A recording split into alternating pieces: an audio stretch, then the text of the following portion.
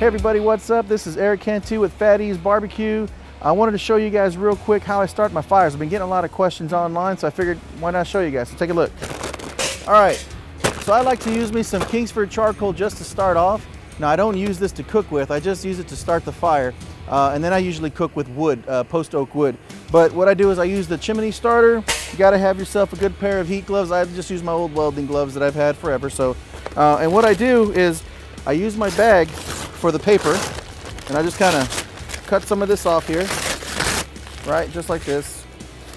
You turn it upside down and you just kind of ball it up. You don't ball it up super tight. You just kind of loosely crumble it and throw it in there, okay? And you try to separate it if you can. This probably didn't do that great of a job on this one here. Throw that in there. And then instead of peeling all three uh, layers, I do one layer at a time, right?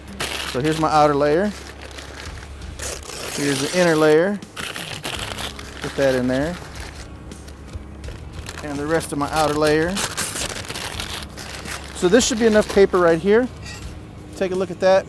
So it's not super tight, okay? It's just nice and loose, okay? And then I flip it back over.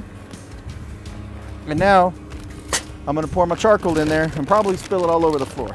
Let's see what happens. That's it just like that. Get these extra ones, put them on top. Now, never mind me and my chanclas, guys. All right, here we go. Then, open this guy up, nice and wide. And we're just gonna bring this guy right there. See that, Bob? Right? Then, get yourself a couple of matches. I like to use these long ones, or if I have my little uh, trigger gun, I do that also, but I couldn't find it, so Anyway, just strike your matches, go right underneath here, and just catch that paper on fire. In a couple of spots. Can you get in here, Bob? Take a look at this. See how I get in there?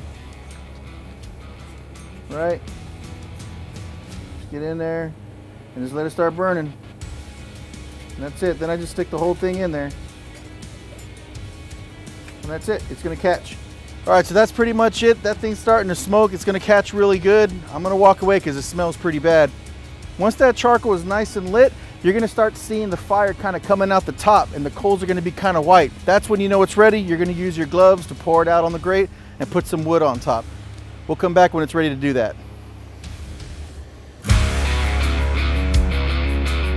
All right guys, so that charcoal is ready. As you can see, the flames are already coming up off the top. So now I'm gonna go ahead, put on my welding glove. Now be careful when you do this because the ash will just go all over the place.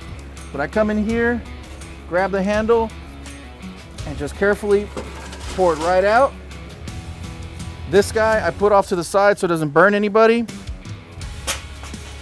All right, then I'm gonna get my uh, pusher here, my little tool, and I'm just gonna push all this charcoal to the side here. I'm gonna make room to put that extra log. That's pretty much it right there.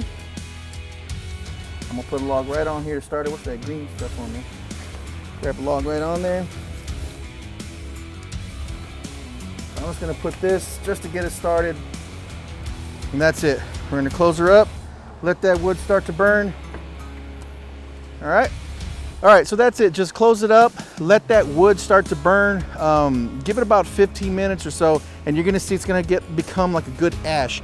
Start knocking it down, then you can start your cycle of wood on the side, putting it on top, and maintaining your temperature. Uh, if you wanna go 225, you do it at 225. If you want it at 300, you're gonna have to put a little bit more wood in there and open up that box a little bit more, just like that. All right, so now we're ready.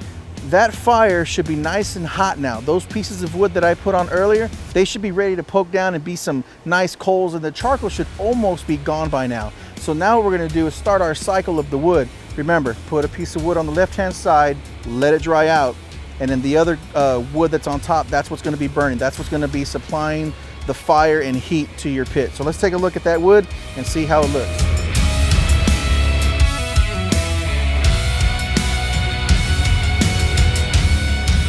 That wood is caught pretty well. Put this to the side. Again, the charcoal is pretty much all gonna be gone here. So I'm gonna get my piece of wood, put it off to the side. That's gonna dry out. Just try to keep the fire away from it uh, so that wood doesn't accidentally catch. That's it guys, that's how it's done.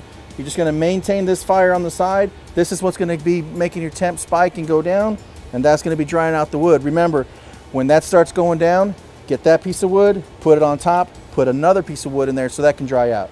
And that, by doing this, as soon as you put that wood on top, it's gonna light right away and your fires will stay nice and steady throughout.